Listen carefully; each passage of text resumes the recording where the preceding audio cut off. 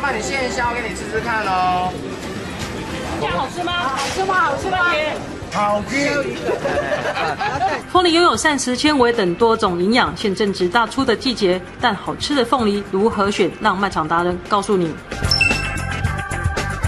通常凤梨的甜度会在下半部，所以选择底部比较浑圆，长度不要太长，因为太长的话，上半截会比较酸。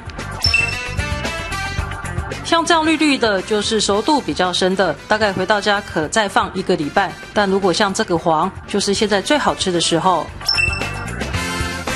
手指轻弹凤梨，声音如果听起来像咚咚打鼓声，代表肉质较为细腻，甜度高。果皮的梨木小，口感扎实；梨木大，口感较松。一般买回来的凤梨只需常温保存即可。建议将凤梨靠在角落，立式头尾颠倒存放，让凤梨底部的甜度分散到头部，会有意想不到的风味哦。